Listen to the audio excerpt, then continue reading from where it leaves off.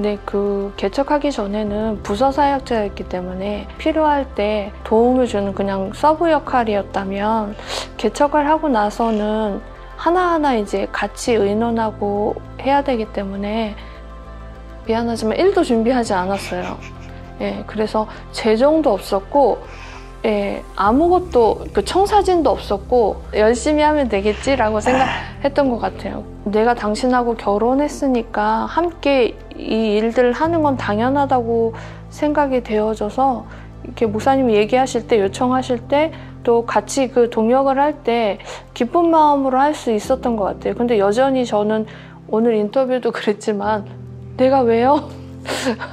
목사님만 하시면 안 돼요 라고 했죠. 하나님이 나에게 요청하신 것들을 거절하지 않는 게 저의 원칙 중에 하나이기도 해요.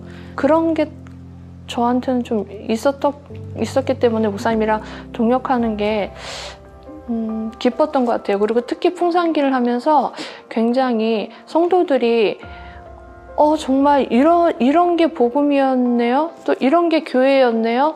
어, 이런 게 공동체였네요? 라고 하는 기쁨들을 알아가면, 알아가는 걸 이제 함께 보고 느끼니까 너무 그게 기쁨인 거예요.